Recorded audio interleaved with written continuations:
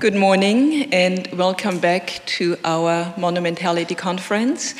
Uh, we had a wonderful, very rich, very full day yesterday with wonderful presentations, with very interesting moderation. So, thank you to the speakers and the moderators.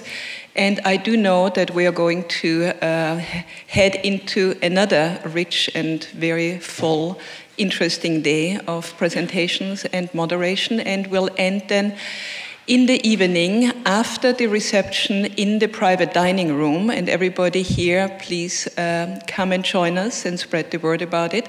Bef after our uh, conference is over we head over to the reception and then we come back to the harold williams auditorium for Theaster gates um, film presentation. So welcome back and enjoy the day Oh, and now I'm handing it over, the first session, sorry, to Nikolas Drosos, one of our postdoctoral fellows here, and he's going to introduce the first session. All right. Good morning, everyone, and welcome. Um, it is my great pleasure to introduce uh, our first session for the day uh, Monumentality and the Technological Sublime, Part 1. So, very quickly, our first speaker is Alison Griffiths, who is a professor of film and media studies at Baruch College and in the doctoral program in theater at the CUNY Graduate Center. Her research crosses the fields of film studies, 19th century visual culture, and medieval visual studies, and examines cinema's relationship to and experience in non traditional spaces of media consumption. Griffiths is the recipient of a John Simon Guggenheim Fellowship, as well as fellowships from the Huntington Library, where she's currently based, I believe, the ACLS, the NEH, and many other institutions. She's the author of three monographs and multiple articles, uh, including the award winning Wondrous Difference Cinema Anthropology and Turn of the Century Visual Culture from Columbia University Press. Shivers Down Your Spine, Cinema, Museums, and the Immersive View, again from Columbia University Press 2008, and Carceral Fantasies, Cinema and Prisons in Early 20th Century America. Her forthcoming book, entitled Nomadic Cinema A Cultural Geography of the Expedition Film, examines cinema as a tool of exploration in the interwar period. Her paper today, I believe, draws from this new research and is entitled Cinema in Extremis Mount Everest and the Politic, Poetics of Monumentality. Nice Freudian slip there. Uh, so, without further ado, please welcome Alison Griffiths.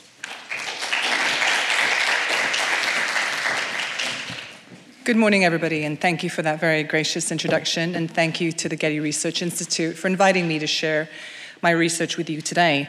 I feel like we should turn down the uh, AC in here to make it nice and chilly for this presentation, um, but uh, here we go.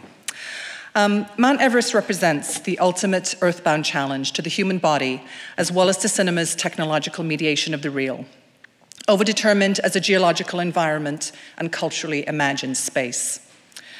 It is extremely difficult to climb and equally challenging to film. The perils of the former indubitably affecting the conditions of possibility of the latter.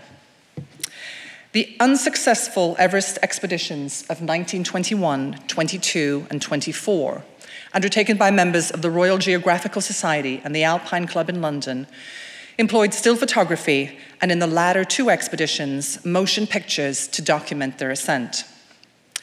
The three journeys can best be understood in dialectical terms, shaped by oppositions between the political, cultural, and socioeconomic landscape of the region versus British ambition and national identity, and the place of the mountain in the cultural imaginaries of the Tibetan residents versus those of the English visitors, and the explorers' masculinist narratives of heroism and wish fulfillment versus autochthonous beliefs in the mountain spirituality shared by the native people.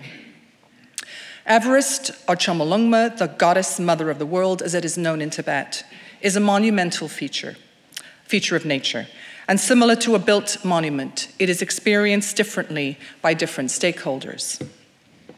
While the British climbers initially mocked its spiritual significance among Tibetans, endeavoring to take on the mountain in barely concealed metaphors of masculinist domination and sexual assault, their attitude towards the mountain seemed to shift across the expeditions, notably in the wake of the loss of life among the climbing party.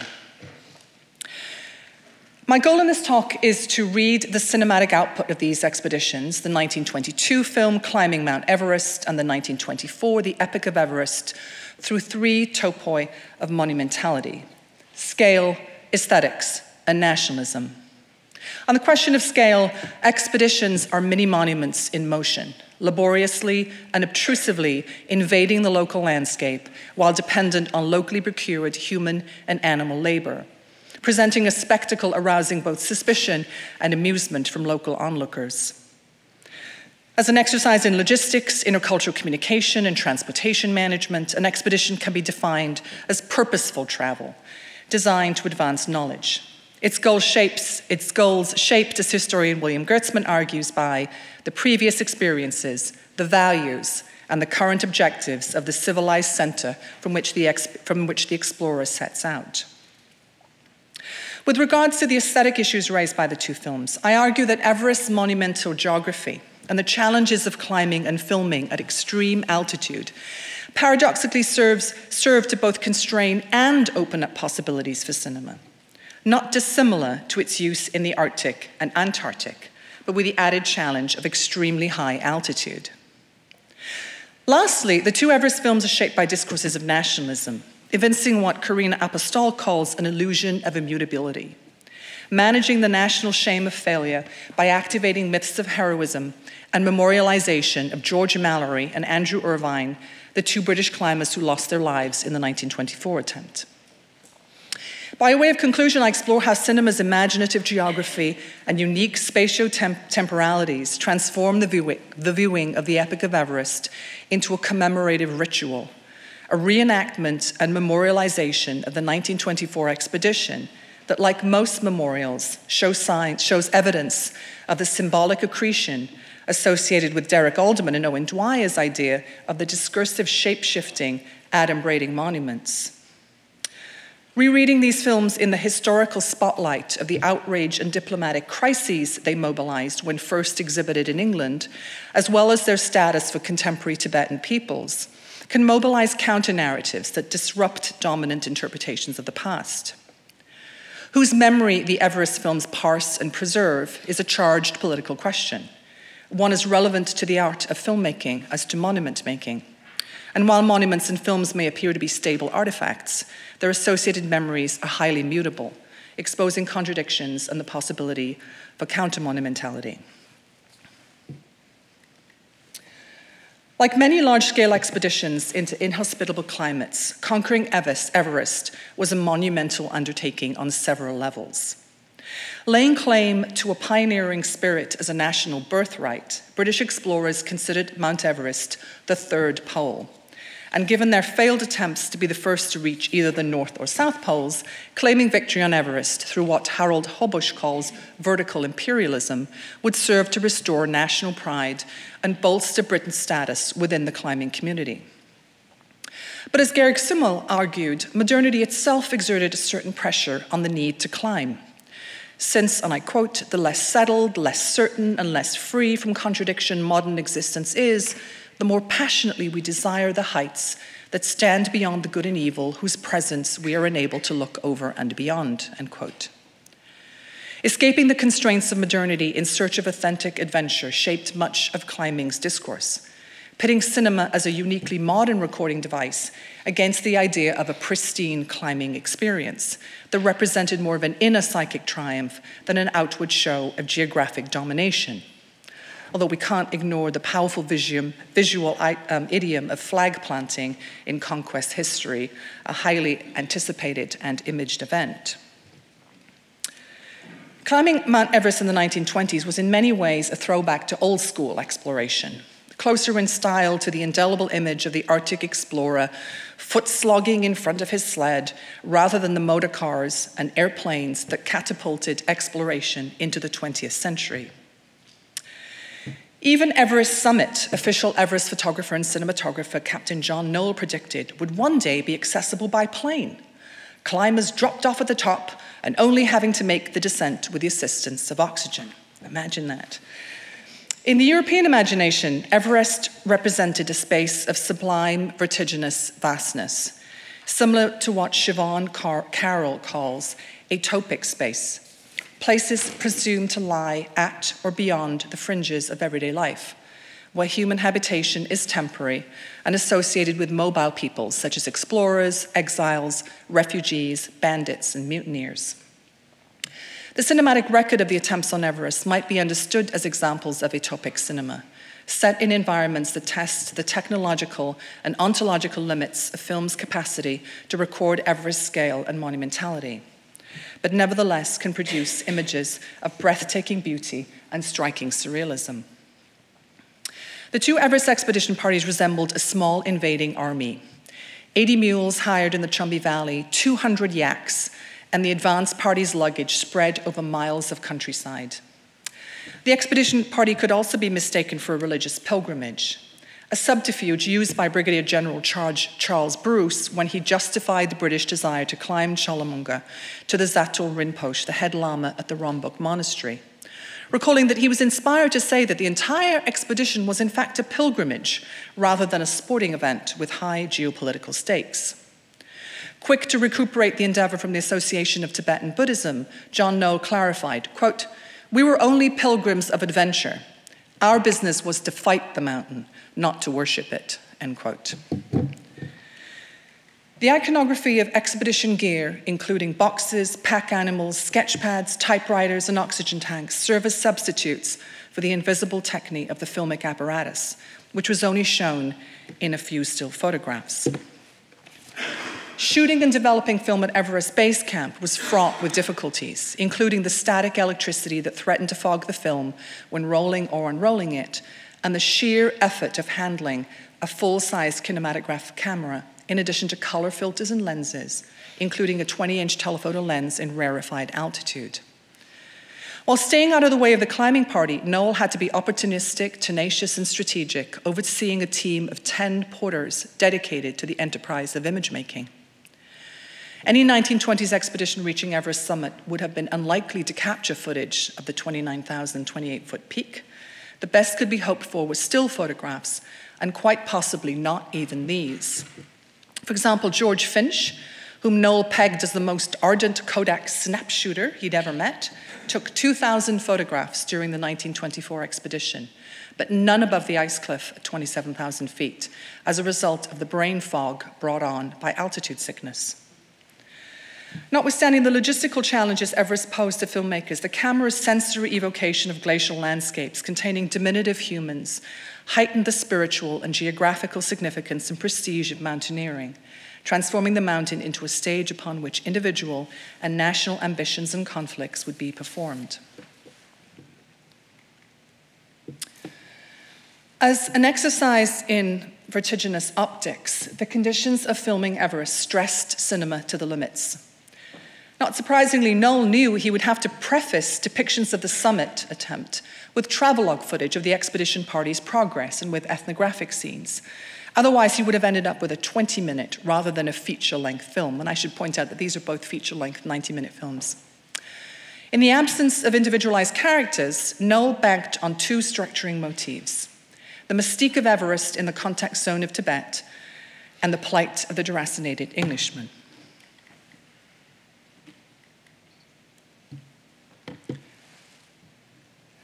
Governed by the powerful quest motif of Mount Everest, the film suffers less than the typical expedition film's attenuated narrative propulsion. And yet, the expedition's forward momentum is not continuous, since the constant back and forth labor by the Sherpa peoples between camps to deliver or replenish supplies represents repetitive movement excised from the cinematic record. Overdetermined as a subject matter, mountains privilege the telling of some kinds of stories over others.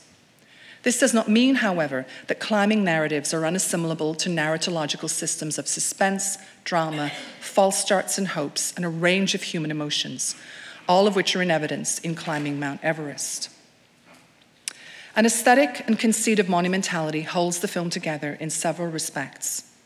The narrative arc of conquest, the iconography of the extensive support system and labor, and cinema's own self importance as a witness to history in the making all serve to shape the film's structure of feeling. Everest monumentality presented unique challenges to Noel. Its glacial structures play hide and seek as the climbers appear and disappear from sight, and at times the near abstraction of the image makes denotation difficult. Noel varied perspectives by placing the camera either behind, in front of, or perpendicular to the climbers, and often shoots from locations that climbers might avoid, away from the route, making the camera less of a virtual climbing partner than a lookout or sentry, waiting for, the, for progress or for something interesting to film.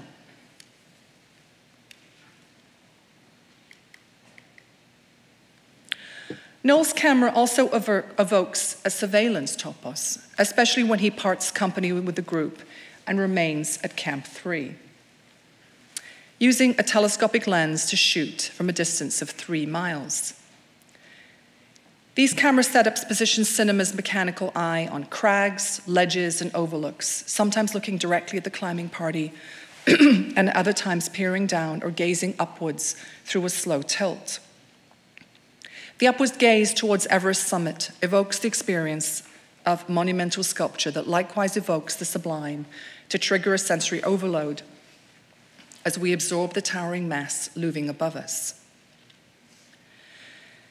An extreme long shot of climbers reduced to tiny specks in the landscape evokes mixed emotions, pitting the human against the natural environment with startling effect. The camera is now and we're just about to get to that shot, sorry. The camera is now a distant observer rather than a participant, a patient lookout that can only watch and wait. As Rebecca Grinard notes, the extreme long shots in vast ice fields simultaneously compromise visual cues about the differentiation of human figures while accentuating the magnitude of the explorer. Undistinguished from the Sherpas, the climbers become a single heroic mass, though minimized within the monumental landscape. Unable to ascend further, Noel deployed camera movement, telephoto lenses, camera filters, and time lapse photography, exposure of moving clouds, sorry, to compensate for the camera's distance from the climbers.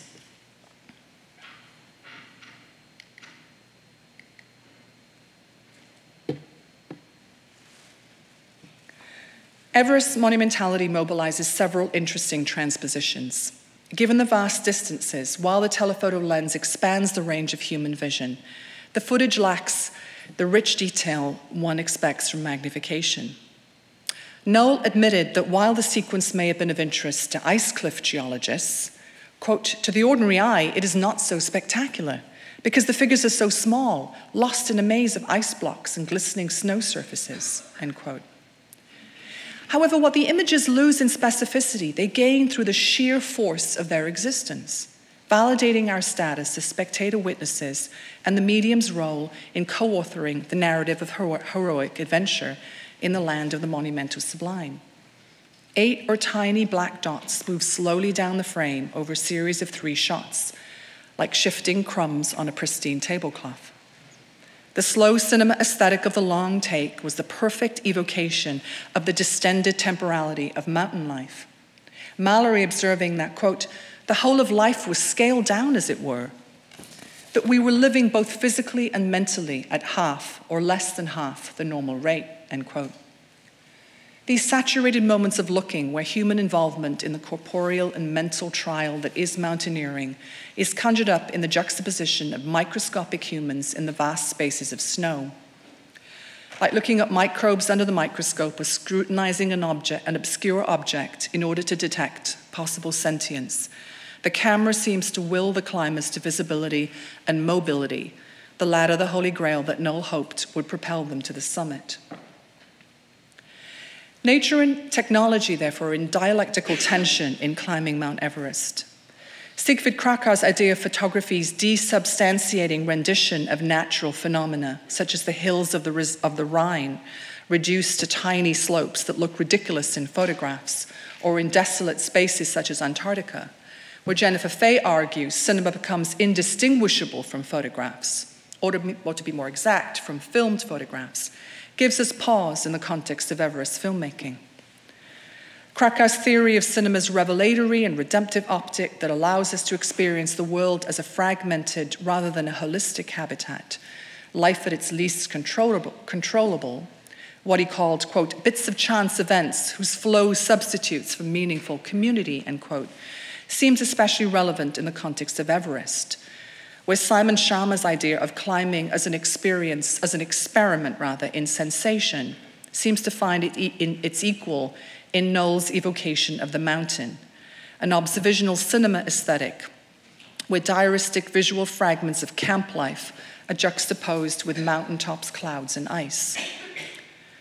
Unlike the eradication of meaning, Fay sees as overwhelming the traveler to the poles, save those in search of a national record. However, Everest is quite the opposite, replete with cultural specificity, given the amount of screen time Noel devotes to the expedition gaining the blessing of the head lama at the Rongbuk Monastery, and into titles about Everest's purported mystical powers. The ontological slippage between film and photography in these moments of intense looking, the reversal of the trope of the blurred photograph imputing movement in a still medium, triggers both a contemplative gaze and a reckoning with each medium's capacity for emotional storytelling for representing what Svetlana Boym sees as, as an effective geography that often mirrors the melancholic landscape of the climber's own psyches. Cinema seems especially well equipped to capture moments of stasis and staring, with the ever threatened moment of the cut looming, looming over each shot.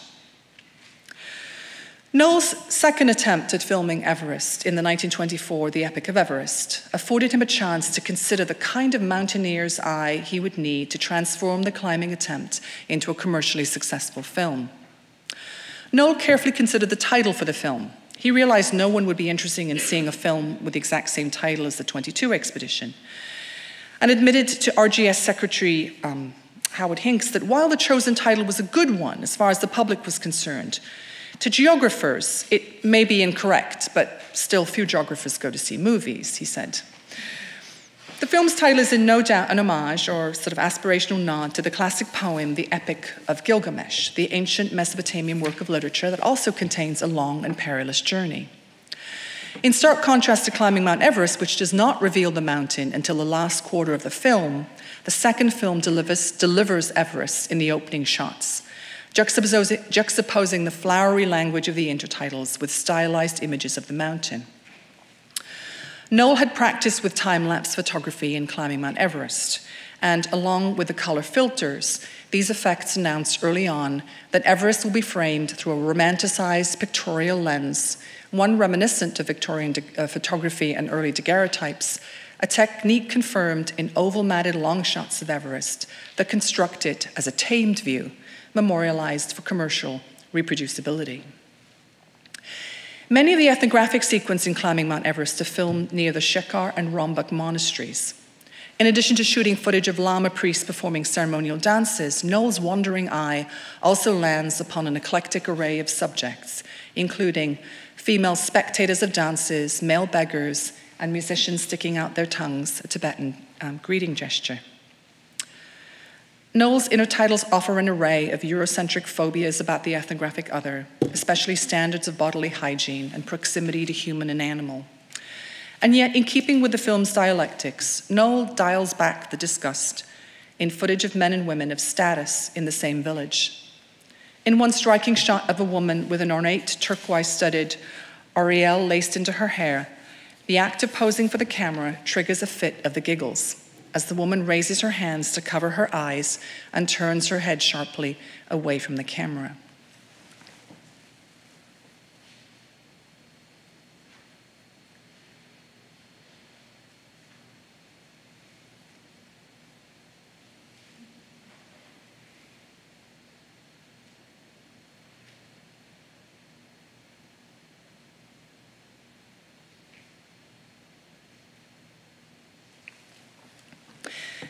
The woman's laughter in this GIF like meme is contagious, suggesting that Noel was inviting his audience to use humor to manage their response to cultural difference.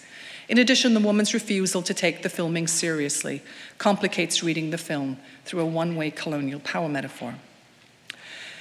An example of a counterintuitive mode of mon- monumentality, the miniature as a metonym for something vastly larger, occurs as the expedition party travels west towards Everest valleys.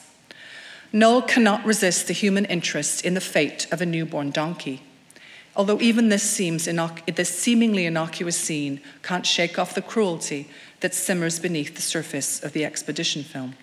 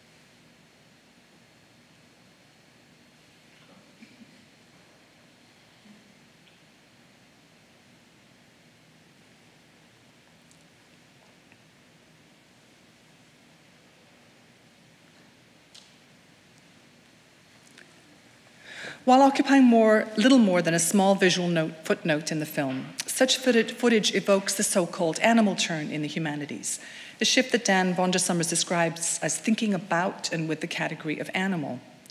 The turn invites more critical engagement with the place of animals within the geohistory of expeditions and in monument building.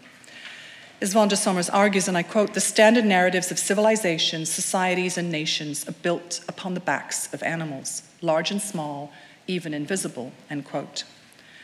The ragdoll like donkey not only signals the reality of animal births occurring en route, but points to the broader commodification of working animals and their welfare.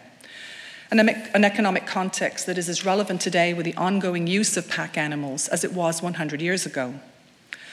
Forming the transportation networks of remote landscapes, animals interceded in human affairs in a multitude of ways, exploited not only as means for providing food and carrying supplies, but also for their cuteness and vulnerability. Most memorably, the group shot of the 1924 climbing team posing for the camera in front of a tent, reproduced countless times in books about the 1924 expedition, including the before and after moment, offering evidence of the camaraderie of mountain climbing and the camera's ability to corral human subjects into posable groups becomes um, becoming agents in their own memorialization. Seeing the climbing party chatting and milling around reminds us that the mountain is a space of private intimacy, homosociality, and in the case of Everest, public view. The Epic of Everest transmogrifies in its final minutes into a suspenseful search and rescue narrative for missing climbers George Mallory and Sandy Irvine, whose Sherpas keep constant watch with telescopes refusing to accept that the climbers had died as a result of the elements or an accident. Noel performs a 360 degree move and, contra his previous mocking of Tibetan beliefs about Everest's supernatural powers, embraces the idea that benevolent or malevolent forces can inhabit the natural world. As a fitting metaphor, visual metaphor for Chomolungma, Noel includes time lapse footage of clouds creeping up the mountain from the bottom of the frame followed by a medium long shot of men building a memorial stone cairn. The close up of the memorial inscription and obituary style headshots of Mallory and Irvine shown near the end of the film are in tension with a pantheistic, pantheistic discourse about nature and death, suggesting that as an anthroposophical process of self interrogation, mountaineering has long negotiated a Taoist tradition of celestial transcendence as well as darker forces of destruction. Having ratcheted up the revenge narrative, an intertitle quotes the Rongbuk Lama's prophecy that the God of the Lama shall deny you white men the object of your search. Noel follows with a reprise of shots of fast moving clouds, this time filmed with a red filter in order to cement the idea of the mountain's demonic powers. Noel can't seem to decide on who to blame for the expedition's failure and loss of life. And while he banked on the fact that his poetic indulgences might go down well with audiences, several reviewers singled out the film's ending as hyperbolic and melodramatic. All right, so this third part is my conclusion. Um, as a testament to national aspirations in geopolitics, Noel's Everest films speak to the professional and popular perceptions of geography and exploration in the first third of the 20th century. In some respects, the public life of the 20s Everest films offer an example of the limitations of geography, described by Joseph Conrad, writing the same year as the final expedition, as a blameless science, the one that enticed mortals, quote, away from their homes, to death maybe, now and then to a little disputed glory, not seldom to contumely, and never to high fortune, end quote. If the science of geography might be blameless, its foundational organizations and cartographic practices were nevertheless handmaidens to colonial and imperial policies and practices. Despite celebrating the British climber's dogged determination to conquer Mount Everest in three highly publicized expeditions, neither film was a commercial success. Along the lines of um, Amundsen's South Pole lecture tours and Shackleton's films, and Noel suffered huge personal losses as a result of the Epic of Everest's failure to, to secure extensive um, theatrical bookings. Anticipating that the third Everest film would be triumphal, Noel advanced payment of film and photographic stock, establishing the company Explorer Films to raise the £8,000 needed to bankroll the, the, the enterprise. The company declared bankruptcy in 1926. This was seen as a win win situation for the RGS. In exchange for giving up the film's distrib- distribution rights, it would avoid costs related to the image making and would obtain a complete set of the photographic prints and motion pictures.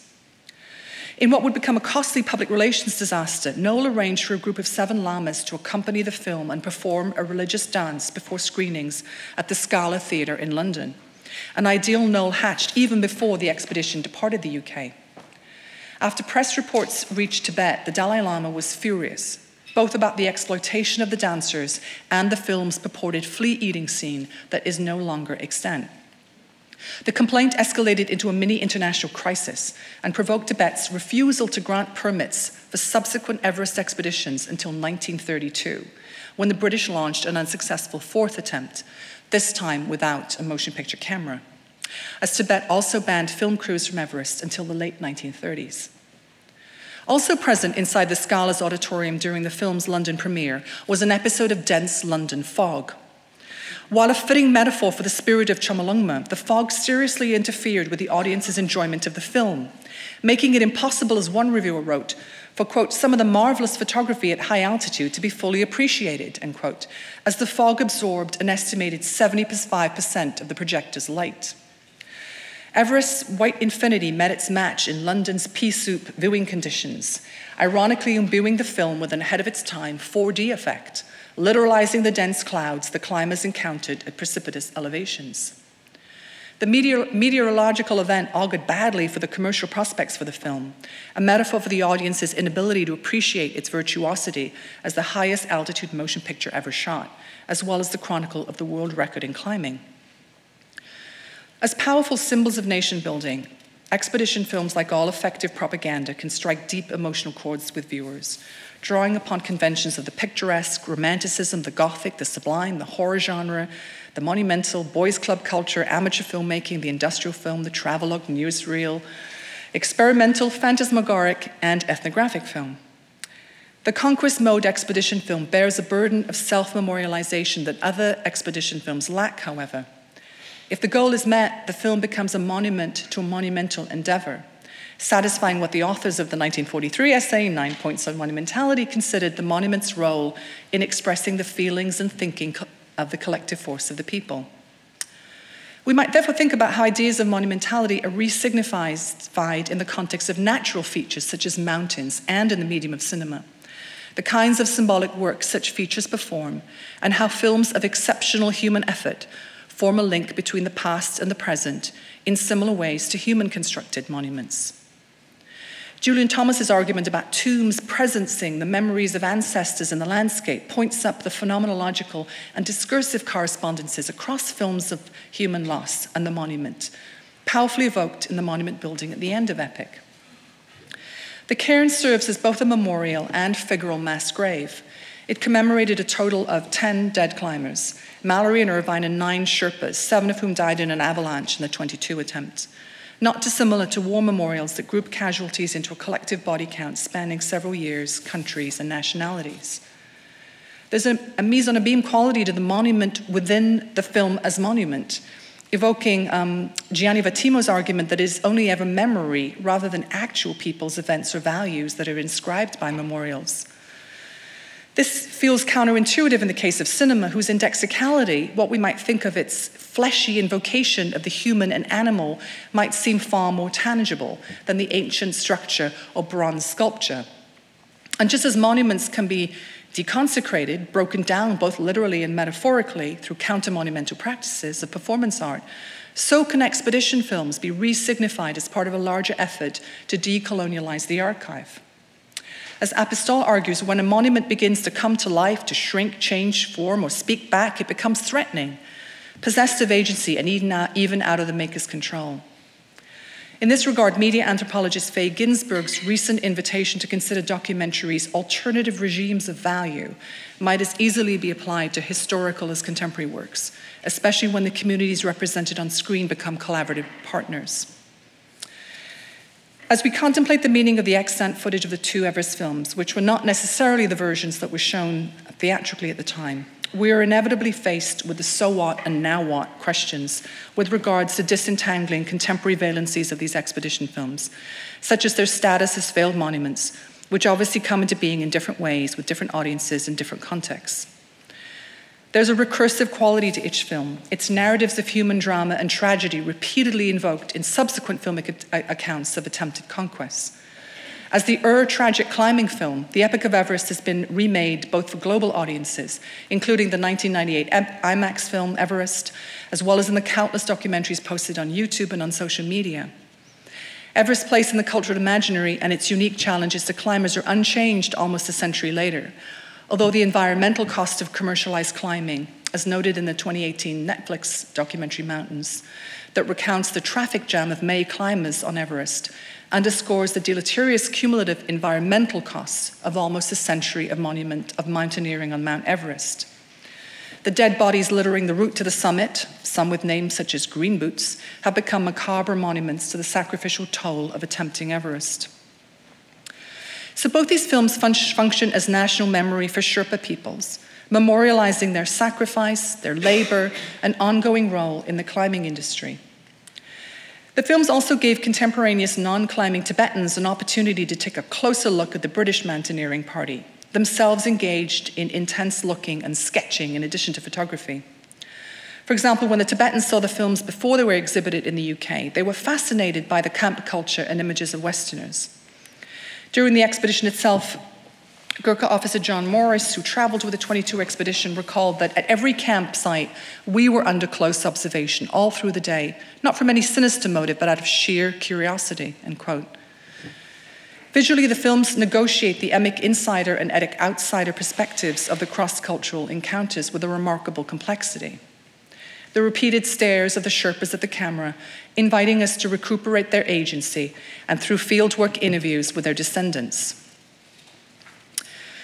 The British Film Institute's 23 release of the restored Epic of Everest did not, as far as I'm aware, solicit contemporary reactions from the, from the Tibetans.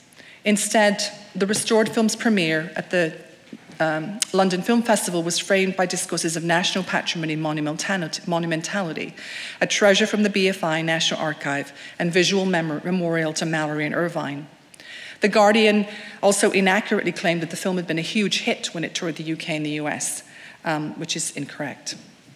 There was no reference to Tibet in the public commentary on the film's re release, despite the fact that almost two thirds of its footage was recorded in local villages. Okay, last paragraph. Um, the two Everest films can become examples of how, as early 20th century philosopher George Santayana argued, the truths, facts, and circumstances of events can help us fill in the picture of historical experience.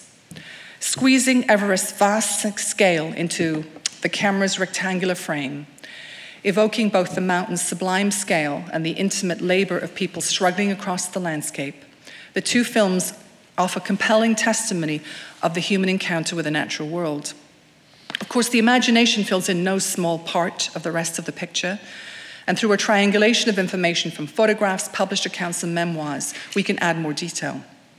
Ultimately, though, the picture remains incomplete. Henri Lefebvre's idea of monumental space as a poetic world through which the spectator moves is a useful heuristic for understanding expedition films as a synthesis of several modes of experiencing space. From the construction of somatic space, our sense of co presence with the climbers through cinema's virtu- virtual gaze, to perceptual space, what Christopher Tilley sees as a space of personality, of encounter, of emotional attachment. The 1920s Everest films therefore invite us to think more broadly about cinema's ability to construct and imagine monumentality. Tilley's idea that what space is depends on who is experiencing it and how is doubly signified in the case of cinema, where the meanings of Everest are encrusted layer upon layer by historical actors and audiences encountering the films over the past century. Thank you.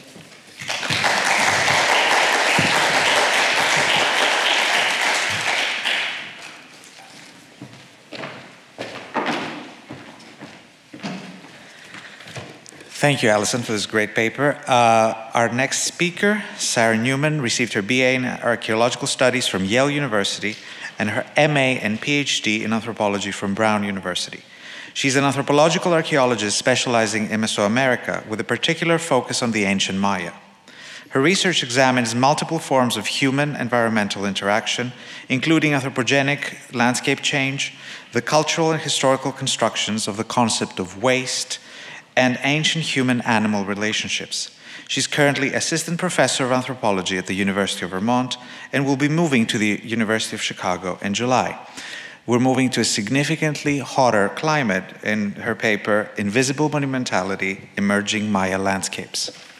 Please welcome Sarah. Thank you, Nikolas. Um, and thank you also to the, uh, for the other presentations and the discussions that we've had yesterday and that we'll have today. Um, they've given me a lot to think about already. Um, in 1841, the American lawyer, writer, and diplomat John Lloyd Stephens published Incidents of Travel in Central America, Chiapas, and Yucatan. The account chronicles a roughly year long expedition accompanied by British architect Frederick Catherwood to, quote, travel to ruined cities, places, scenes, and monuments. Stephens' swashbuckling narrative emphasizes isolation, calling attention to unknown cities hidden in the midst of seemingly impenetrable and inhospitable jungles. For example, on reaching the ancient Maya city of Copan, Honduras, he writes, quote, It lay before us like a shattered bark in the midst of the ocean, her masts gone, her name effaced, her crew perished, and none to tell whence she came, to whom she belonged, how long on her voyage, or what caused her destruction. In Egypt, the colossal skeletons of gigantic temples stand in the unwatered sands in all the nakedness of desolation. Here, an immense forest shrouded the ruins, hiding them from sight, heightening the impression and moral effect, and giving an intensity and almost wildness to the interest. The ground was entirely new, the whole was a virgin soil. We could not see 10 yards before us and never knew what we should stumble upon next. The analogies to empty expanses of water and sand are a recognizable colonialist trope. The explorer discovers, or as Stephens himself put it, quote, snatches from oblivion, the ruins of a lost civilization that had hitherto been invisible. But Stephens had been passing through the remains of densely populated ancient Maya settlements for weeks before reaching Copan. And in fact, that immense, desolate, and mysterious forest was as much a product of Stephens' perished race, the ancient Maya, as the palaces and temples that so fascinated him. From Cicero to Riegl, understandings of monuments have focused on enduring structures and powerful objects, that is, on things that are discrete, colossal, and long lasting. Archaeology, similarly, was founded on the notion that artifacts, art, architecture, and objects, can be attributed, attributed to a particular person or people in a particular place at a particular time. Today, however, I offer three sets of case studies that complicate those ideas. These case studies detail large scale, partly anthropogenic assemblages artificial islands and swamps, manipulated forests and savannas, modified hill slopes and watersheds that, despite their massive temporal and spatial scales, often remain invisible to archaeologists. The first set, Figure and Ground, examines ancient Maya monumentality beyond, between, and below monuments, the interstices and substrates that are often overshadowed by the built environment. The second, vaster than empires and more slow, borrows this line from an Andrew Marvell poem to call attention to what we might think of as slow monumentality, the long lasting modifications made to forests across the Americas. Finally, Fractals and Flows takes us further afield to the former desert paradise of Petra in Jordan to ponder how we might approach anthropogenic systems so monumental that they appear both endless and timeless. Each set of case studies challenges the practice, if not the nature, of archaeology, asking how we might recalibrate methods of inquiry and interpretation to allow for forms of monumentality that are both multiscalar and multitemporal. In an off cited article on ancient monumentality, archaeologist Bruce Trigger saw the defining feature of monuments, especially architecture, as, quote, scale and elaboration that exceed the requirements of any practical functions. Size, as a proxy for power and prestige, emphasizes the energy and labor expended. The bigger the monument, the more powerful the ruler. Even in cases where archaeologists have flipped that narrative, positioning laborers or simply mundane labor as the agents of monumentality, the notion of a monument as a discrete entity remains. Prehistorian Richard Bradley even writes that the de- defining characteristic of monuments is the fact that they, quote, impose an artificial order on the use of space. That is, when archaeologists speak of, write about, and study monumentality, the focus is on the built artificial environment. What happens if we shift our attention to the extensive archaeological landscapes that underlie those structures, to the ground on which plazas are built and pyramids stand? Recent developments in remote sensing technologies have made it possible to penetrate jungle canopies over vast territories, including the ancient Maya heartland of northern Guatemala. The expanse of ancient settlements unveiled by aerial laser scanning is, aerial laser scans is staggering. As those scans now make clear, integrated urban settlements canvass the Maya landscape, connected by causeways that extend for kilometers.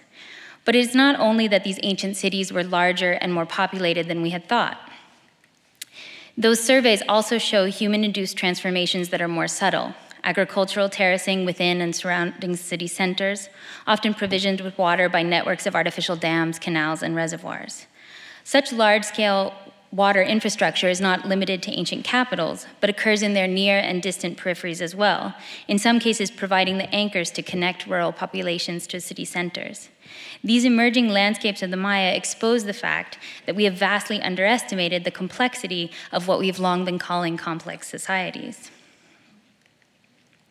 At the ancient Maya city of El Palmar, Thomas Garrison, Stephen Houston, and Omar Alcover Firpi identified an elaborate system that redirects natural drainages around a local lagoon. A nearly half kilometer long canal, excavated into bedrock and sometimes cutting through earlier abandoned causeways, channels water into anthropogenic wetlands. The fields are marked by small raised hummocks for crops, perhaps a kind of artificial chinampa system, similar to the one designed by the Mexica for the island capital of the Aztec Empire, Tenochtitlan.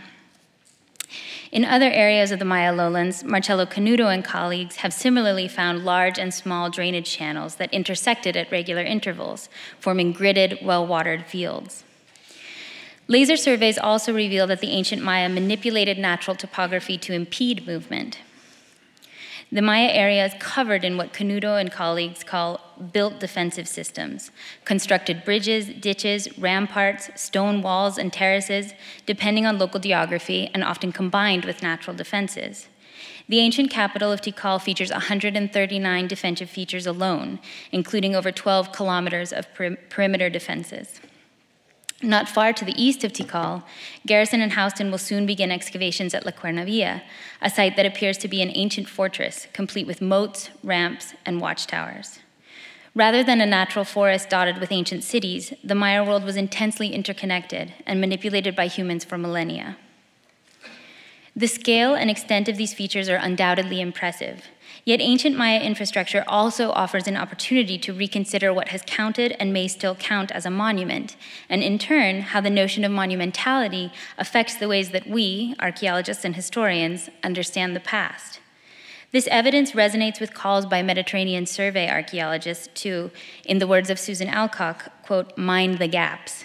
That is, to attend to the lacunae between the cities and to ask what we're missing in places that seem, at first, empty. These landscape transformations are not examples of plazas, which are clearly defined and intentionally integrated negative spaces, which North American archaeologists like Tim Pauketat and Kenneth Sassaman have long called attention to.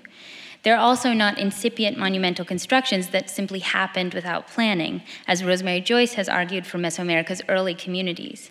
There are instances in which the Maya altered what a lagoon, what an escarpment, or what an island actually was. I direct a project at the Maya site of Topoxte, which lies on a group of small islands in a lake in northern Guatemala, and is obviously not a bad place to work. Uh, the settlement on the Topoxte Islands dates to the mid to late 13th century. That is, it is called post classic in Maya, Mayanist terms. And although Mayanists no longer describe this epoch as decadent or degenerate as they once did, notions of decline and dissolution are implicit in the use of the post prefix. While classic and post classic are technical classifications, most modern visitors would probably agree that the ruins on Topoxte are less impressive than the massive pyramids, plazas, and ball courts of nearby cities like Tikal or Yaxha. After visiting those grand sites, the colonnaded halls and residential structures that cover Topoxte seem like a faint echo of classic Maya architecture, a miniaturized memory of former grandeur. What we are just beginning to realize, however, is that the Topoxte Islands themselves and their underlying landscapes are a massive and long lasting construction project. Archaeological survey and mapping have revealed raised artificial platforms, stepped bedrock terraces, long docks, and restricted plazas that are the products of its post classic inhabitants. The surface area of the island is enlarged by multi lobed cisterns excavated out of the bedrock and forming extensive underground chambers for burial and storage. And Topoxte is not unique among post classic Maya cities in this respect. At Zacpeten, a nearby lacustrine city investigated by Don and Prudence Rice and Tim Pugh, a massive anthropogenic defensive system includes a large wall, two parapets or terraces separated by a moat or canal, and various fortification walls. The defenses at Zacpeten, situated at the northern peninsular end of the site, create a defensible, elevated, and isolate island refuge, much like Cuernavilla uh, centuries earlier. Focusing on art and architecture emphasizes the discontinuities between classic and post classic Maya cities. But architecture was only a particular kind of Maya monumentality, one that is more salient in the present than it was in the past. If we look beyond the iconic and singular forms of temples and palaces, at the ground rather than the figures, it becomes possible to recognize continuity in place of rupture. Rather than seeing Topoxte's squat pyramids and short stela as inferior echoes of classic period greatness, a literal ground up view suggests that post classic monumentality is a dynamic tradition of distinctly Maya ways of occupying the world. In a poem entitled To His Coy Mistress, the 17th century poet Andrew Marvell wrote, quote, My vegetable love should grow, vaster than empires and more slow. That second line, vaster than empires and more slow, later became the name of a short science fiction story by Ursula K. Le Guin, in which explorers discover a world covered in thinking, feeling forests that react to and emotionally engage with humans. Archaeologists have long studied paleobotanical landscapes, but like Le Guin's explorers, rarely concern themselves with the interactions between living plants and humans. Throughout the Americas, however, vegetal matter can serve as a testament to the extent, longevity, and sophistication of indigenous manipulations of what could be loosely described as the natural environment. My second set of case studies involves the monumental anthropogenic forests of North, Central, and South America before and immediately after the arrival of Europeans. Spanish and British explorers to what is now the United States and Latin America almost invariably emphasize an abundance of plant and animal life, from Florida to New England. They also often remark on the unusual character of North American forests.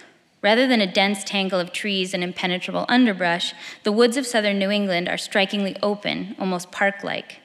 When Giovanni di Verrazzano reached the Narragansett Bay in 1524, he noted the extensive open areas and forests that could be traversed easily, even by a large army. Likewise, Hernando de Soto's 16th century expedition, which consisted of 700 men in addition to herds of horses and swine, passed from pre- present day Florida to North Carolina and west to Arkansas without difficulty. A century later, William Wood wrote of Massachusetts Bay, quote, whereas it is generally conceived that the woods grow so thick that there is no more clear ground than is hewed out by labor of man, it is nothing so. In many places, diverse acres being clear, so that one may ride a hunting in most places of the land. The timber of the country grows straight and tall, some trees being 20, some 30 foot high, before they spread forth their branches. Environmental historians have combed through descriptions by travelers and settlers to show that those spacious forest understories were made and maintained by Native Americans.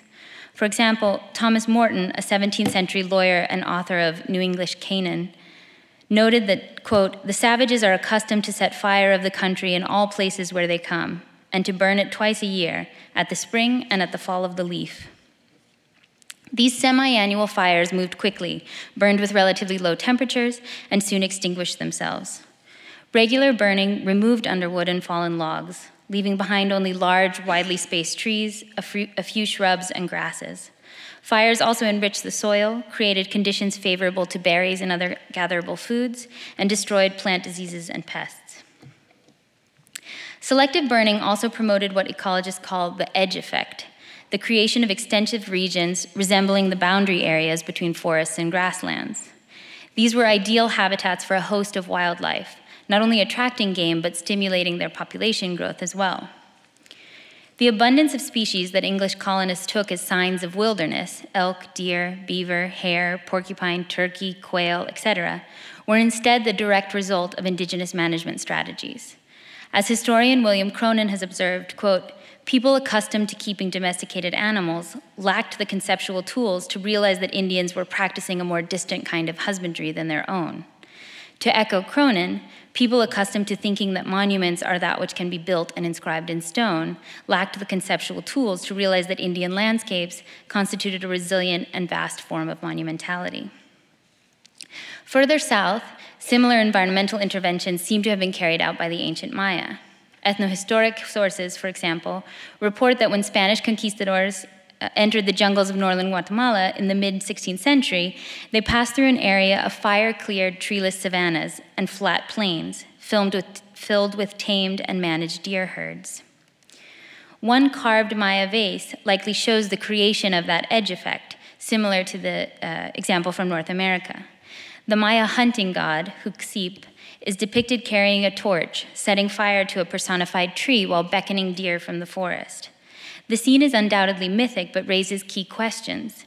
First, monumentality is not only about size and scale, but about the acknowledgement and reading of particular constructions as monuments. This vessel consciously commemorates the transformation of the forest. Second, who is understood as propagating the fire and achieving the attendant effect in this scene?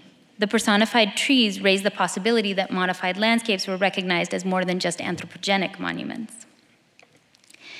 Paleoecologist Tim Beach and his colleagues have recently reviewed Maya impacts on climate, vegetation, and hydrology as the Mayacene, a microcosm of the early Anthropocene. In addition to the transformation of the savannas, they point to the movement of economic species beyond their usual distribution range a Caribbean pine stand in the swampy Bajos northeast of the major archaeological site of Tikal, and the presence of cacao trees in the moist microenvironments of sinkholes in northern Yucatan are relics of ancient Maya management. Biologist David Campbell and colleagues have even gone so far as to, as to refer to the entire contemporary Maya forest as one huge feral forest garden, the origins of which date back to at least 4,000 years ago. Key evidence from Amazonia further undermines what geographer William Denevan has criticized as the pristine myth of the pre Columbian Americas. In a remarkable example of international collaboration involving over 100 co authors, Carolina Levis and colleagues found that both the abundance and richness of domesticated plant species in Amazonia correlates with proximity to archaeological sites. In some cases, certain domesticated species were five times more common than would be expected by chance.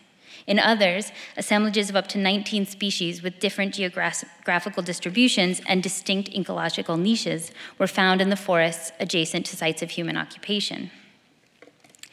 Moreover, some cultivated species provide only long term gains. Brazil nut stands, for example, take years to offer harvestable seeds but remain productive for centuries. Pequi trees bear fruit only after five to seven years but will produce for the next 50 to 70. Gardens and orchards, including particular species that will encourage the growth of others, are planted by plot owners for their descendants. Similarly, anthropologist Gustavo Politis describes how the Nukak of the Colombian Amazon seek out campsites around particular plants, which they believe were seeded by their ancestors.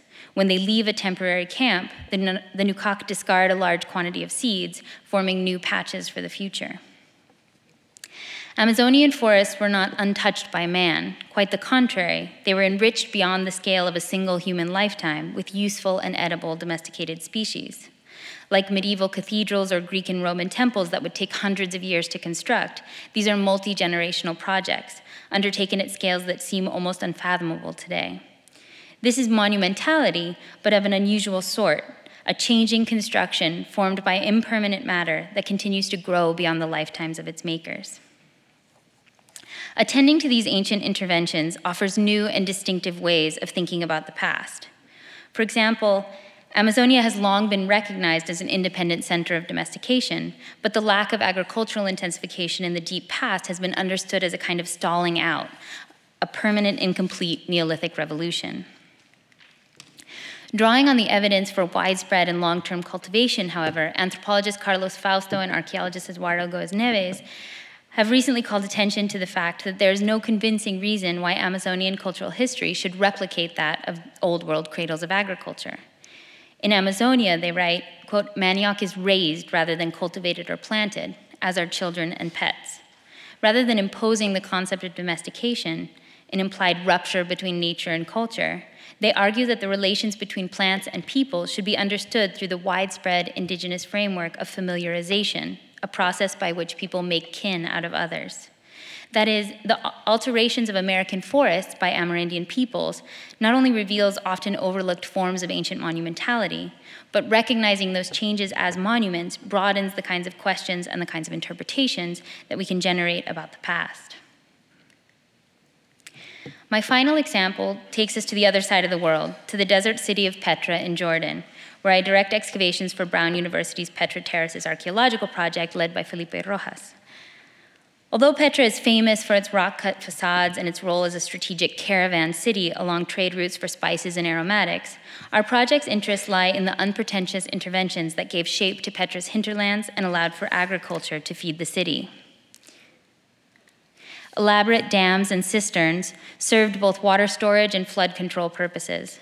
Numerous channels and pipelines routed water from local springs to the city center, and backup wells provided protection against drought. The steep mountains, wide wadis, and narrow canyons that surround Petra were thoroughly transformed to facilitate water management and cultivation. Like curated forests and modified islands, the complex anthropogenic assemblages around Petra challenge traditional archaeological methods. They seem to be everywhere, extending as fractal iterations over the entire landscape, and every when, cross cutting standard temporalities, as many Nabatean or Roman features were maintained well into later periods. Some are still in use today. They also defy straightforward classification and analysis. It's futile to try to distinguish strictly agricultural from hydrological functions, or again, purely functional from religious or symbolic. Simple rock cut shrines, sometimes including obelisks or the aniconic sculptures known as betyls, are found often alongside water sources and agricultural installations. In a small wadi just to the north of Petra, Rojas documented a shrine that includes a triple betyl associated with a 10 meter long rock cut channel that runs in front of it. Ashlar belonging to a ruined structure is strewn a few meters in front of the triple betyl. This religious complex is in very close proximity to a large dam with a side sluice that must have served to control the flow of water down the wadi, as well as a cistern and agricultural processing facilities, a wine press and threshing floor. If we separate the betyl as a religious structure from the dam, channels, and cistern as water management or infrastructure, and the presses as agricultural installations, Perhaps no single feature would constitute a traditional monument, but the overall effect is undoubtedly monumental. The scale and complexity of this interconnected network are perhaps most readily apparent when individual components break down. The ancient city was well watered by aqueducts, pipes, pools, and even pressurized fountains, an organized system of flow and storage that not only supplied Petra with ample water, but also protected it from the force of seasonal flash floods. The modern archaeological site, however, suffers catastrophic flooding as violent torrents sometimes rush into the city center by the haphazard deterioration of the larger systems, dams, and channels, including in 1963 when 22 French tourists were killed in the Siq, the, the main entrance into uh, Petra, and as recently as last winter. The disproportionate impact that a single element can have on the entire system, one broken cog that disables the machine, raises questions about who made and maintained such assemblages in the past. The size and construction techniques of many terraces suggest state level organization, but their sheer number and distribution so far beyond the city center point instead to individual land tenants. For example, our recent excavations have shown that terraces well beyond the city center are massive constructions with dressed, coursed masonry. We've also documented a nearly four meter thick, wadi wide dam an enormous investment of labor, planning, and skill. At least in some cases, however, those cut ashlar blocks were erected atop simple earthen berms. And although we are still waiting for results that will help us date the construction of those terraces, it seems that some of Petra's spectacular water management system depended on and were literally built upon earlier efforts of small scale agriculturalists. In this way, Petra's terraces are a bit like the philosophical paradox of the ship of Theseus, which poses the problem of whether the ship remains the same even as each of its boards is replaced with a new one. The overall form endures across millennia, despite the constant shifting of individual elements and material components. Moreover, the agricultural terraces, rock cut channels, cisterns, dams, graves, altars, and shrines, taken as the aggregate assemblages of which they are a part, constitute a monument much larger and more complex than all of the city's monumental tombs combined. Each new installation requires a recognition of and engagement with earlier interventions, otherwise, the system fails. The challenge they pose to archaeology is both spatial how do we delineate the boundaries of an open ended, interconnected system and temporal where in that dynamic landscape of maintenance and modification does antiquity end?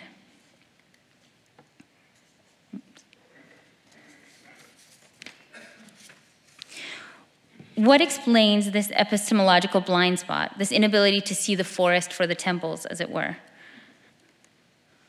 The three sets of examples that I have detailed today the, reshape, reshaping of the earth in ways simultaneously so large scale and subtle as to have been overlooked for centuries, the patient transformations of forests over many generations, and the production of functioning fractal machines over an entire regional landscape are not only massive anthropogenic monuments, but irreducible to the sum total of their material components.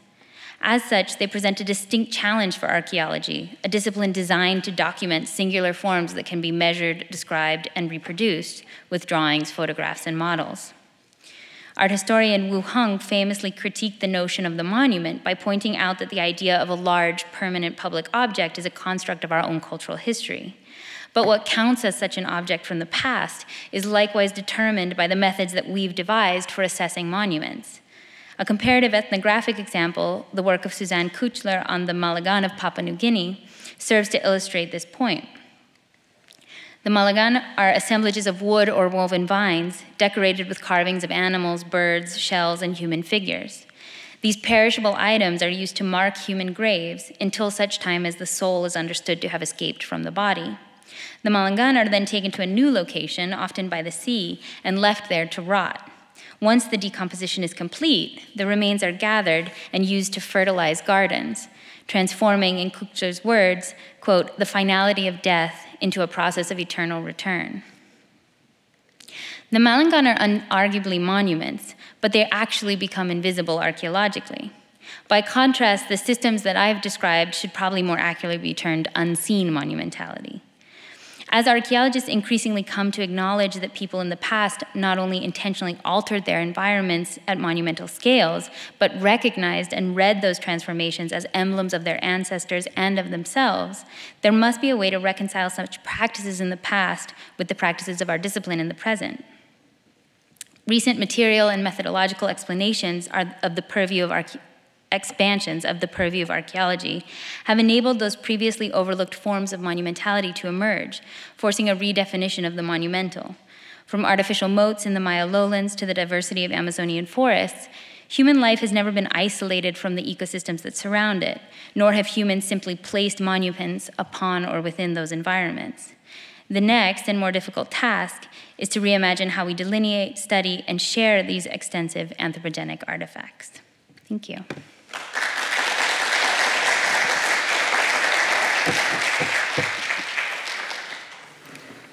Okay, wow. Okay. Thank you very much for two great papers. Um, so it seems to be becoming a tradition. So if you would like to talk amongst yourselves because before um, others chime in. Um, well, I'm really interested in this idea of this kind of emerging landscape. And um, I can certainly see connections in terms of, you know, the role of the archive as a, an amazing repository of landscapes that perhaps have been overlooked or that have irrevocably changed because of climate change, et cetera. So I, would love to know more about, I mean, how that works, both literally, but also as a kind of a metaphor um, for making sense of specific kind of monumentality you're working with. Well, I think, I mean, I think one of the, the things that was interesting about watching your presentation is to think about sort of these questions of how you can capture the monumentality of the landscape on Everest and the ways that uh, that in some ways film sort of does a better job than photography in certain settings of scenes can sort of express that.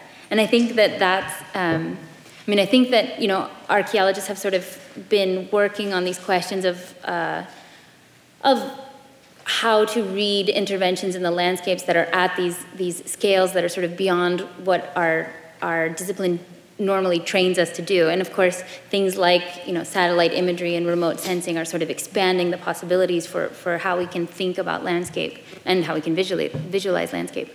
Um, but I think sort of the key question now is sort of how, how do you communicate that both to one another, to you know, other people in your discipline and more broadly. And I think some of the, the uh, these questions about sort of the archives of, of landscape. I mean, how, how do we create also in the moment the, the archives of what it is that we're studying?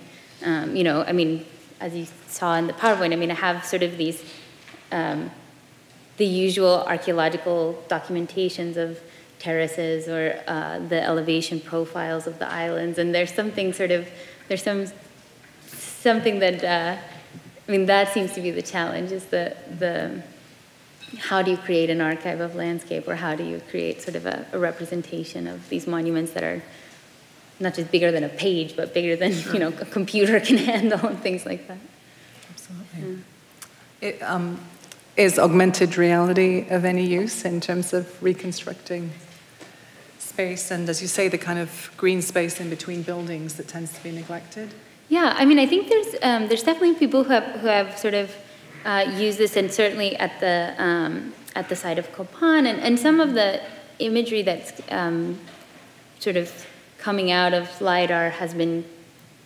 connected to sort of um, augmented realities. But I think, I think that's a possibility. I don't know that it's been done sort of well yet, but right. yeah, I think it is a possibility. It's just a question of sort of some of the experiential kind of phenomenological uh, aspects of it that you were talking about as well. That you know that's a hard one to. Uh, never works as you hope. I think with augmented reality. right. I'm wondering. I'm, I'm wondering about this. I, I, during both of the, the talks and when I was reading your papers, I kept thinking of this, the term the natural monument. You know, that finds different valence in different administrations and different languages, but there's always this idea that the Everest is a monument, right? There's this idea of nature in its more most platonic sense, which is never, as you say, it's never quite nature with a capital N. Mm-hmm. But there's this impetus to use nature to define monumentality and also to use monuments to define and protect nature. So I wonder if is nature a necessary component because I, it seems that both your your papers touch upon things that alter, mediate, manage, um, conquer, you know, different actions onto nature. Is this a, is this a part and parcel of monumentality? Has, does there have to be this term, uh, or in your research, or more generally? Well, I think I think one thing that I would say that's sort of strange about that sort of formulation is that that idea that that say a monument is kind of an intervention into nature. I mean, the implication of that is that humans, that we ourselves are somehow unnatural. Right. And so uh, I think part of what's interesting, especially about some of the, um, I mean, these case studies where there's some ethnographic detail, so especially sort of the Amazonian case studies, um, what is sort of implied is a different way of conceiving nature, which is not separate from human interventions, and that, and I think that's something that c- kind of comes up with the Maya vessel that I showed. That it seems that there there may be ideas about sort of humans and nature build the monuments together. Mm-hmm. Yeah, I mean, I, I think what's kind of interesting is that I mean, Everest is a monument without ever wanting to become a monument. I mean, I mean, it's an externally human-imposed designation. And I mean, certainly in the expedition films that I'm looking at, I mean, nature is something to be kind of managed. It is an impediment.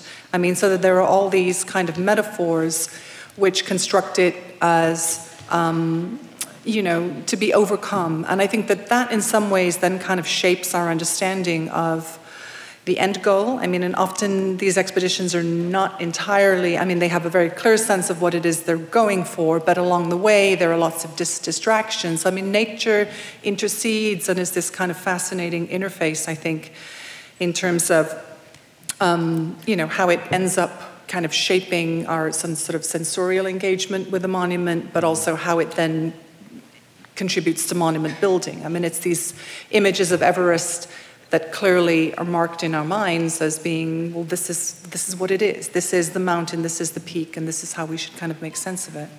Yeah. Let's open it up to the audience and Mary. Thank you both for such incredibly stimulating and thought provoking talks, both of which feel as though they've almost opened a window on our Scholar Year theme for next year, which is art and ecology. Uh, but here's the, the, the, the question that I thought I would like to hear from both of you about, which is if you could address how your projects and the actors in these projects um, address the question that we might call science, but I'm going to reframe science as the quest for precise knowledge, which almost all humans seek. Uh, they want to be able to keep track of uh, how water moves. And so there is um, where snow falls and how the drifts form. They want the, um, they are seeking precise knowledge. But the framework, when we step away from this and call it science, tends to move, I think it tends to move to, at first, it was seen to be the heroic individual. And now, actually, in the 21st century, one of the great heroic things about science often is that it is held to be the team. Um, I love the fact that we looked at a, a list of maybe 40 names, 60 names, uh, some of the work that comes out of the uh, CERN uh, project in, in Switzerland will have a thousand names, all as co authors. Again, a kind of invisible monumentality. With that as a kind of jumping off point, um, would you talk a little bit about how the quest for precise knowledge is actually one of the things that is underpinning both the actors in your projects and uh, the outcomes of your projects? Well, Precise knowledge is, is, a, is a, a sort of a tricky concept in some respects um, in relation to the Everest expeditions because these were not primarily collecting expeditions. But having said that, they certainly were measuring, they were looking at the natural habitat, but it certainly wasn't their end goal. Um, what I've been most interested in is how film exists as kind of empirical evidence. And of course, expeditions produce lots of different artifacts of knowledge, right? And cinema sits in there somewhere. And in some respects, it's this empirical record, so it's scientific. And yet, I think the expedition team had a very ambivalent relation to cinema. Um, there's evidence in the archive that it was this bloody cinema that's in our, in our way. I think they, they felt very, um, mm, yes, ambivalent, I think, about their climbing being recorded and the idea of this emblem of modernity being there, um, sort of perhaps polluting this kind of pristine experience they were having. Um, but, but cinema kind of also has to um, fill in the kind of gaps in our imagination, um, but it coexists with measurements, it coexists with letters, diaries, field notes, all the other kinds of scientific matter, material stuff that comes out of expeditions. Um, I mean, I could, I could speak, I think, in more detail about this in relation to some of the other very scientific expeditions that were um, you know, explicitly concerned with, with collecting material culture or with animal specimens. But it, it, it's, it's, I think, kind of an absent presence in some respects, in my case. Uh, so I think I would say that, it, I mean, of course, it depends on sort of what science is, but in both, um, I mean, in all of the case studies that I talked about, um, all of those sort of manipulations and, and interventions are clearly the product of uh, sort of, I guess, repeated empirical observation of the results of interventions and modifications. So, you know, in Petra, if you build a terrace that routes water the wrong way, the next season there's, you know, some catastrophic flood and your neighbors are probably very upset. Um, in in the uh, the Amazonian case, um, I mean, the species of, of trees that are being grown, uh, in some cases, you know, people are planting specific varieties of trees that they know will actually allow the next generation of tree to grow more effectively. So there's clearly sort of a um, something that comes out of repeated observation um, and kind of what I guess you would call kind of scientific testing, this kind of trial and error, which is sort of um, at the basis of science, I would say. Um, so that's the, the actors in the past. And then I think in the present setting that, I mean, I said sort of in the paper that, you know, one of the things that has been surprising is that it seems that we've sort of long underestimated the complexity of the people that we've been calling complex societies. And part of that is, is in the nature of sort of the, the scientific inquiry that we sort of think that we're doing. And so, um, you know, when someone says my ancestors made the forest this way, Western science doesn't really have the kind of trial and error uh, method to investigate that. Um, although we've sort of force fitted into things like counting diversity and counting species richness and things like that. Um, and so I think that the, I mean, I think, uh, I guess there's a way in which sort of modern Western science often makes the monumentality of ancient science another kind of invisible monumentality that you sort of can't see the, what's being uh, done in the past because of the way that you can ask questions in the present. Uh, we have a question from Dieter, and then. Yeah, thank you both for your talks. Uh, I have a question for Alison, and the good news is this time I will be brief. Uh, um, when while you were talking, I couldn't help thinking of a parallel case, which is the German mountain film. Yes. Uh, and I've been working on that a little, uh, and it's the same period, so mid 20s onwards. Right. And there are three distinct features that obviously are different from your case. Namely, first, it's movies, fiction. Right. Uh, second, you always have a woman, uh, particularly, I mean, a kind of a new image of a woman mm. who is both athletic, seductive, mysterious, so kind of a unique type. Uh, and third, the two main proponents of this mountain film, uh, namely Luis Trenker and Leni Riefenstahl, uh, became fascists, uh, um, famously. And so I was wondering whether there's a history of a movie, I mean, of a mountain movie in, in this sense, in, uh, in the English-speaking world, I have no idea uh, about that and how they pick up these motives or compete with the German, let's say, role models or not right. so much right. uh, role models. Right.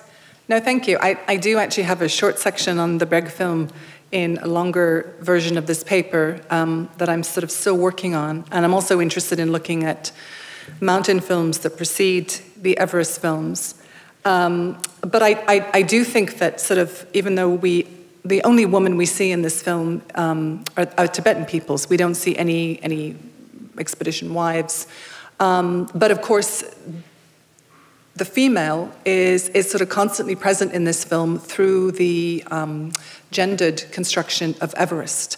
Um, and the kind of sexual metaphors that I just briefly alluded to are, are really quite intense in the intertitles, in the diaries, in the published accounts. Um, I mean, there are quite unsubtle sort of rape metaphors, um, which of course, you know, speak to a kind of a deeper colonial history of, um, you know, sexual oppression of women and men as well.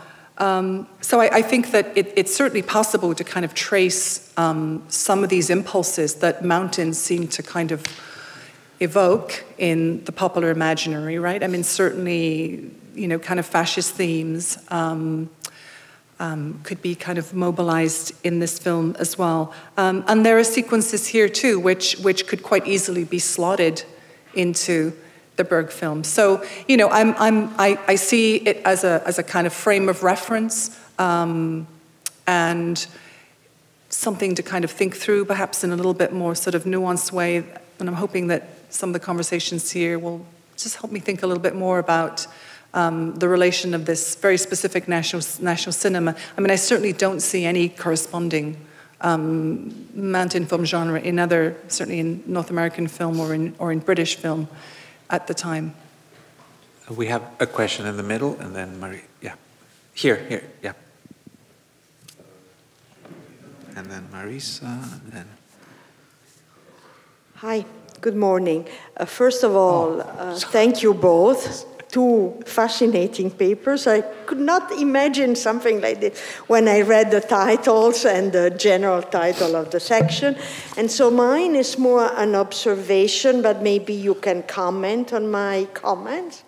Um, I'm going I'm back to the uh, Nikolas. Uh, um, uh, well, he was mentioning this idea of the natural monumentality uh, which is basically what I immediately wrote it down when after, I mean, following your presentation.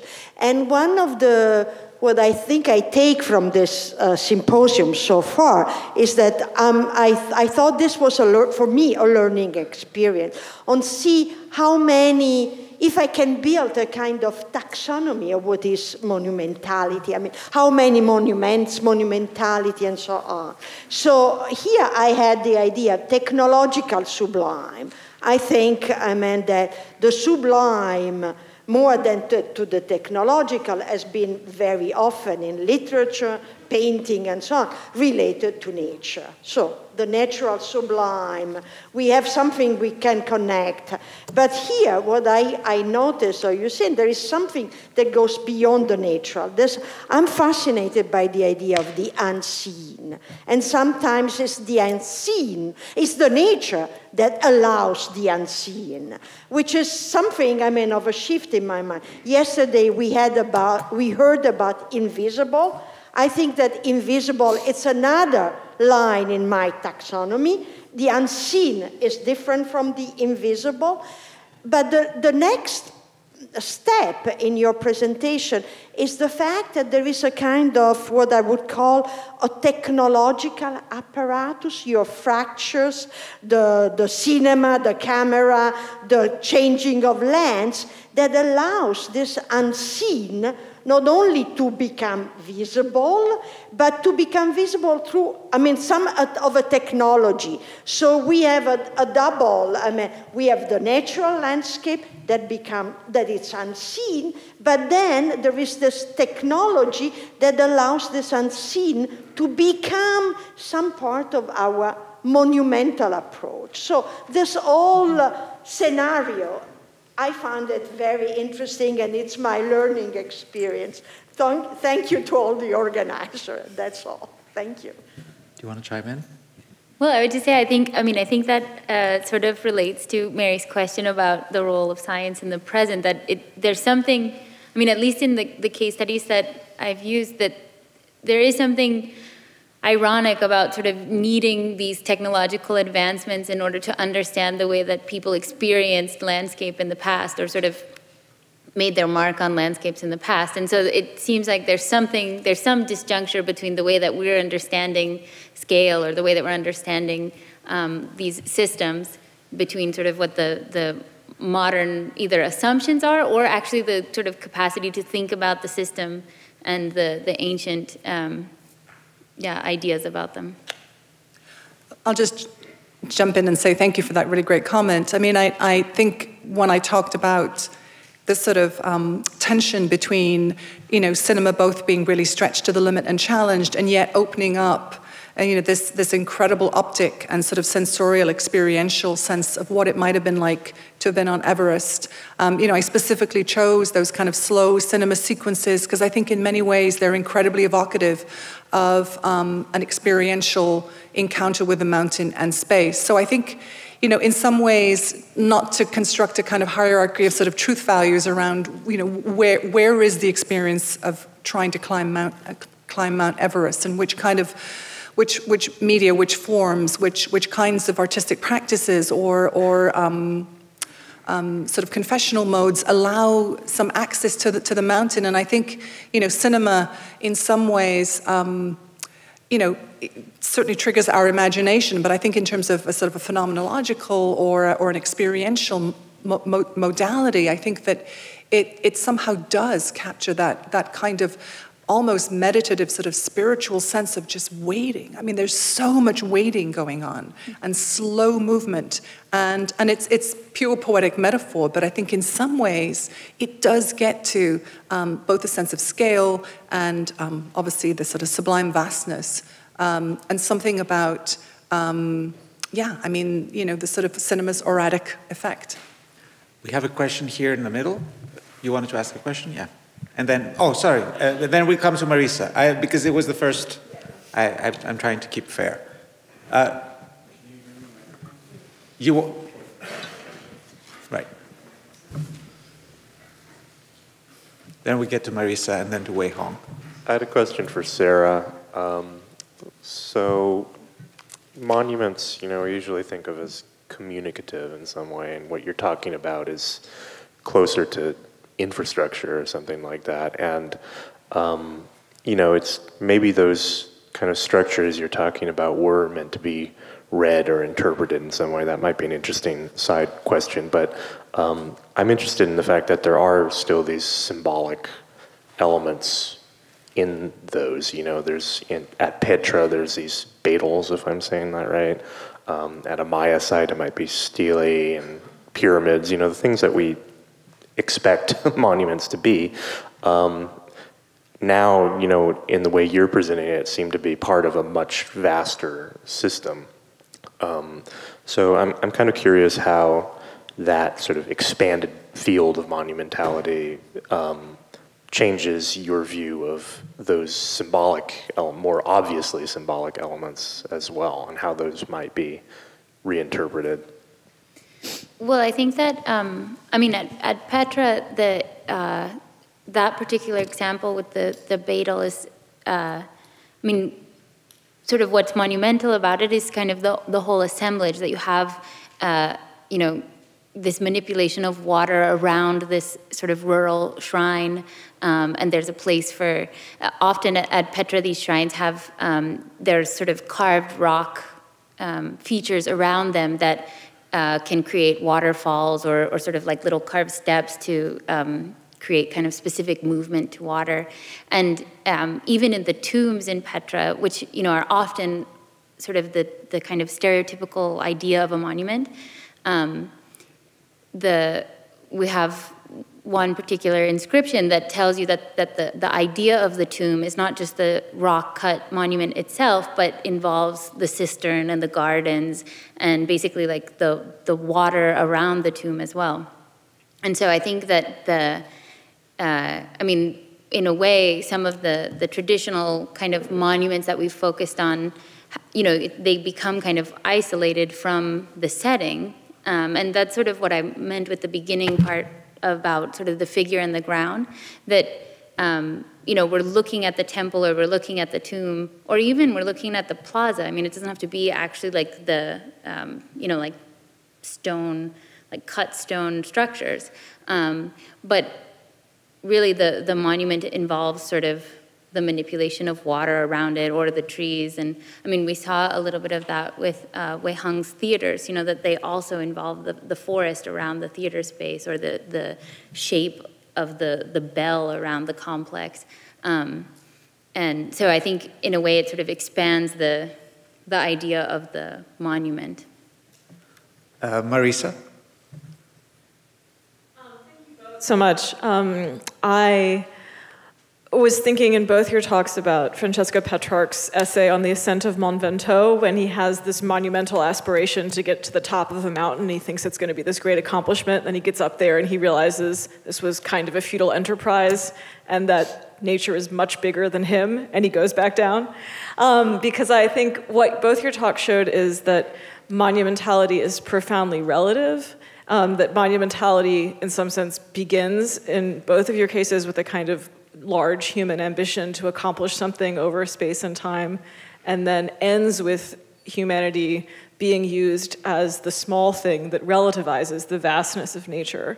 So I'm wondering if either of you would go so far to say that the whole human concept of monumentality as an ambitious drive somehow depends actually on the inevitably grandest, like greater vastness of nature always in relation to anything humanity can achieve.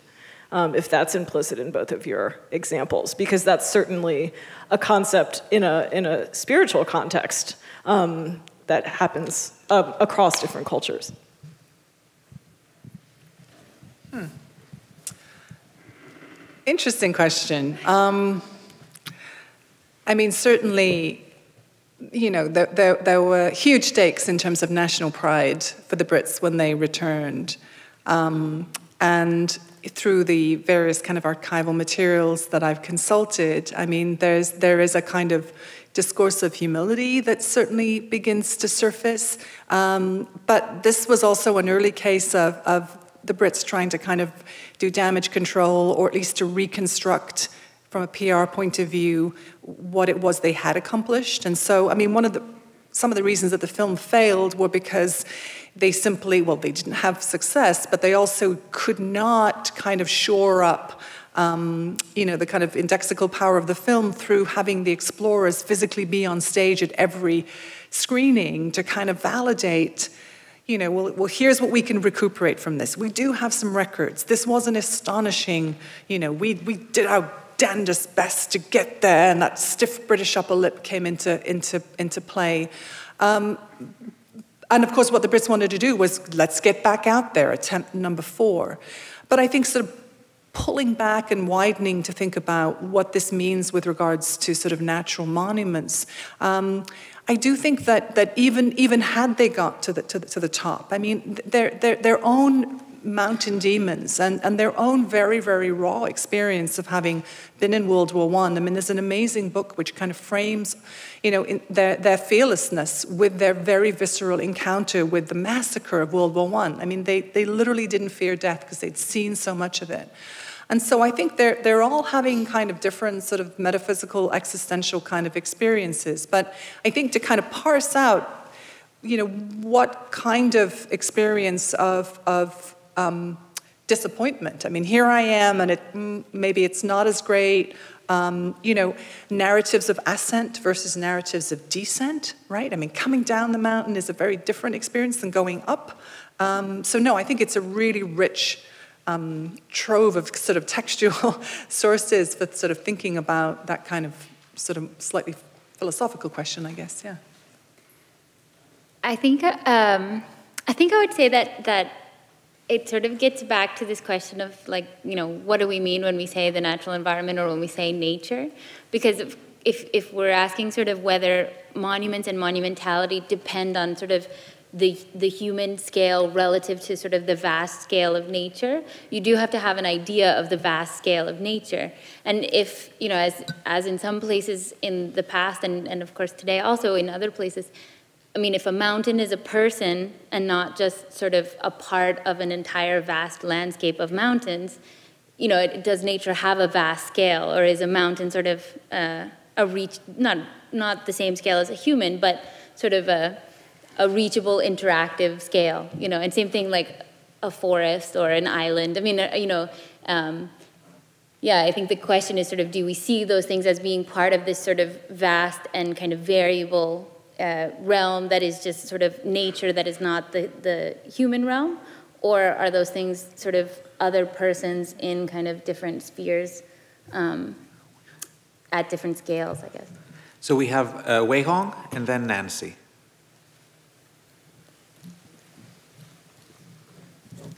Uh, so thank you two so much for a fascinating panel. And I thought it was really interesting that both of you raised the question of the object uh, in terms of monumentality. And for uh, Sarah's case, I think it's interesting for us to rethink really um, object not in terms of a Cartesian notion of object as inert, dead, with definable boundaries, but really object as vital, right? Something that keeps on growing and changing and shifting. Uh, and in relation to that, measuring it, it becomes a particularly interesting issue. And I think uh, the archaeological effort is also in relation to contemporary science in terms of um, laser surveying, but also data science, right? How much more data we can gather to see new patterns. Uh, so there's almost a kind of a opposite movement. One is to uh, to show uh, increasingly bigger scale to mask the totality of that scale to review a new notion of uh, that environment uh, at the same time to see almost a Sisyphus effort as Marisa was pointing out the um, impossibility of that measurement.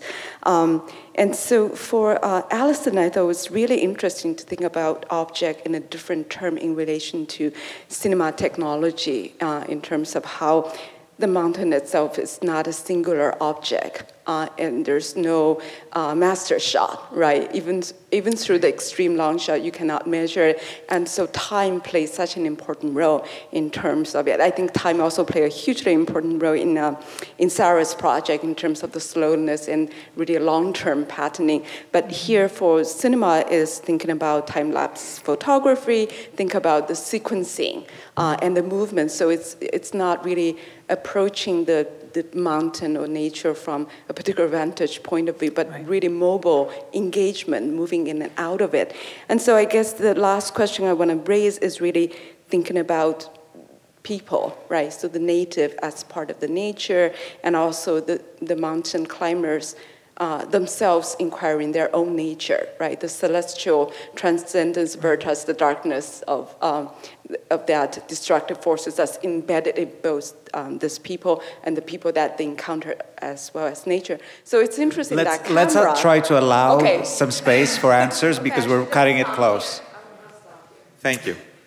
Um, do you want to jump in first since Oh, yeah, no, go ahead. Yeah, okay. Um, obviously lots of really rich ideas there.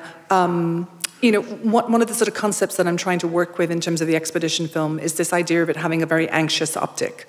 Um, it's, it's never quite entirely sure what it is it should be looking at. It knows it's there for a reason. It's not entirely clear what that reason is often. There are expedition films that get made and nobody ever sees them. So there's never, an, there's never a clear inbuilt audience with some of the other case studies that I'm looking at. This film had a very clear sense of who its audience was. But you're right. I mean, Everest is this, is this um, elusive object. Um, it's often very difficult to know where you are. Um, if I were to show the entire film, there is a kind of a travelogue structure, um, but the mountain sequences them, themselves, as the film goes on, um, image gives way to text. It's intertitle after intertitle. We are literally um, resorting to this kind of, you know, um, narrator-style travelogue um, mode of address. And, and that's incredibly frustrating. And a lot of the critics criticize the film for just relying way too much on intertitles. Um, in terms of the kind of encounters that you refer to, I mean, there's, there's, a, there's a sort of a counter monumentality built into this entire project, right? Uh, I mean, Everest means very different things for the Brits and for the Tibetan peoples. And that kind of tension, that, that tension in terms of the goals, um, its place in their sort of cultural, sort of philosophical imaginaries, um, I think, I think can be sort of tensed, uh, sort of not tensed, can be sensed in some of the images. And I try to kind of put some of those in there. There's moments of reverse gaze, which seem to kind of, for me, betray this why am I here? What am I doing? And, and Sherry Ortner has done a wonderful kind of ethnographic recuperation of, of how Tibetan people feel about the kind of you know, sort of Faustian contract, double-edged sword of this industry that, that obviously supports their, their, their lives. But they're, you know, they're, they're terrified of this, of this labor. Um, so that's very complicated. Um, so yeah, those are just some thoughts. I want to ensure we have time for more questions too. I would just say, I mean, I think that the, the uh, question that you mentioned at the end about sort of uh, temporality and time, I was thinking yesterday during your paper, you know, you had sort of this list of uh, characteristics of, of kind of monumentality, and I was sort of thinking, well, what do you do with things that are that have durability but no solidity, or sort of uh, you know long-term temporality but no stability, or something like that? That that there are these uh, objects that are sort of undeniably objects. I mean, you, you sort of can't say, you know, that the terracing system at, at, Petra is not a thing, but it's also never the same, it's not the same thing, and it's not a thing that you can attribute to a particular point in time. And, and, and I think that, I mean, one of the things that both thinking about the paper and just sort of sitting through the, the presentations is, you know, I think monumentality is such a sort of abstract notion that I'm not really sure that I know what it means when we're using it, you know? Um, and I think, you know, we sort of have a clear idea that certain things are monumental or that certain things are monuments, but the monumentality is sort of a little bit more vague. Okay, one last quick question from Nancy.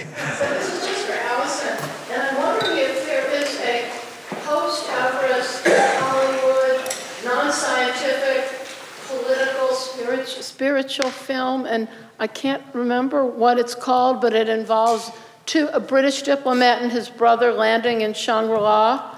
The, do you know this movie? No. Circa 1940, black and white film.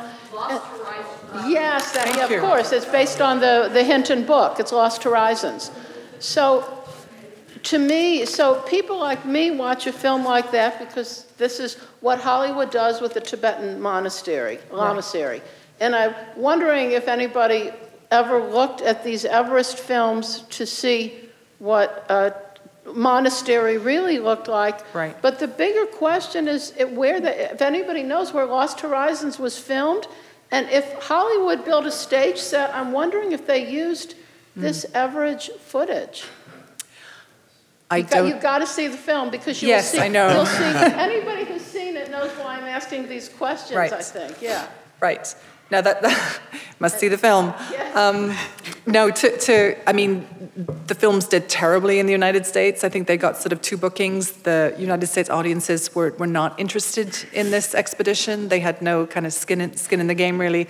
Um, but I, I think in terms of recuperating, or at least being sort of opening up these films to, I think, um, different kinds of optics. I mean, one thing that I do intend to do is to take this film back to Tibetan peoples. I mean, not literally have to go there, but certainly when I'm back in New York to kind of have some screenings, to, to try and kind of think about um, just what's the impact of watching this film today, um, and, and to bring in that counter narrative, because I think, or not counter narrative, that sort of absent narrative, because I think it's really important, um, and this is obviously work that's being, doing, being done in documentary cinema to really, you know, take these films back to kind of um, uh, re, you know, to repatriate them to their communities in a non-condescending way, to just have a conversation about the film. So that will be the kind of missing piece of this, because I know there's lots of lofty gestures I have about the importance of kind of thinking about these films as, as